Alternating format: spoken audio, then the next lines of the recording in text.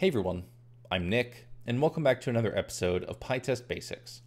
So in this episode of the series, we're going to be talking about yield fixtures.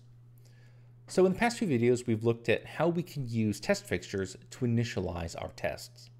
However, it's often the case that we also want our fixtures to provide some sort of teardown or cleanup to our test functions. For example, a fixture may acquire or create some sort of resource, and we want that fixture to be responsible for also um, releasing or cleaning up that resource after our test completes. Now to do this, we can use this thing called yield fixtures, and that's what we're going to be looking at today. So let's go ahead and get started, and we'll open up our example here of test_yield_fixtures.py. And inside of here, we have a couple of familiar faces. We have our square function, which squares a number, and then we have our test for a square function called test_square, which prints out running our test then computes square using our square function and compares the result against um, you know, our initial value raised to the power of 2.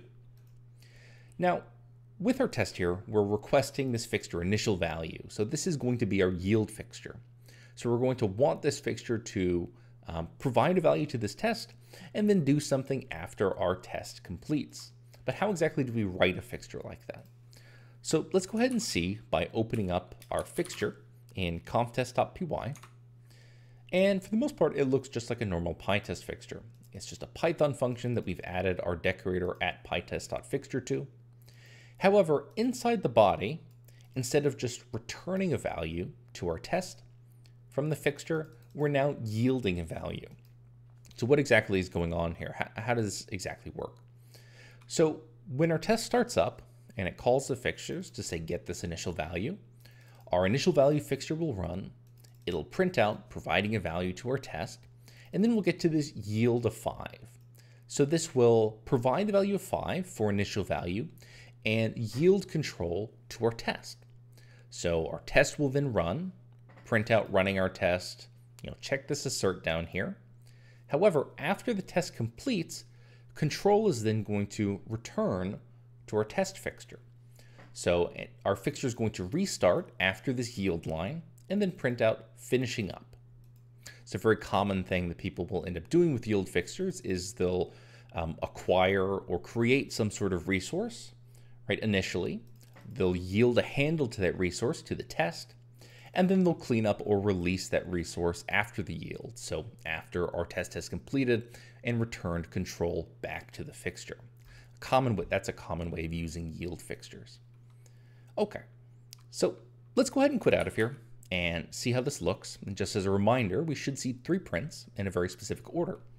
We should see initially providing a value to our test from our fixture, then control goes down to our test, so we should then see running our test.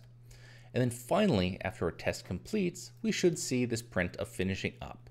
So that's the order in which we should see these strings when we run our test. Okay, so let's go ahead and quit out of here and we can first uh, see our fixture by using pytest dash dash fixtures on test yield fixtures. And we can see it just shows up like any other fixture. We have initial value here defined in our conftest.py file. And then we can go ahead and run our test. So pytest test yield fixtures.py.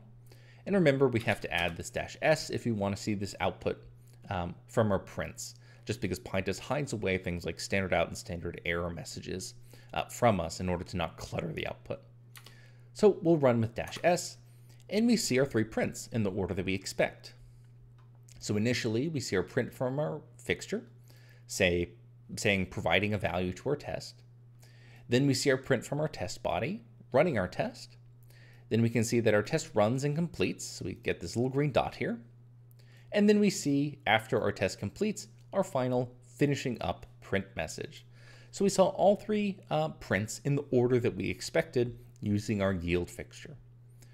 Okay, so that's going to go ahead and do it for this time. It's the basics of using yield fixtures. Of course, I'll link down below document the uh, official documentation of yield pix, uh, fixtures from docs.pytest.org. So you can see that on the right-hand side of the screen. As always, you can check out any of these code examples at github.com slash coffee before arch. So you can find these uh, under repositories and then under PyTest. And also, I have some written guides on PyTest as well, including a guide on yield fixtures.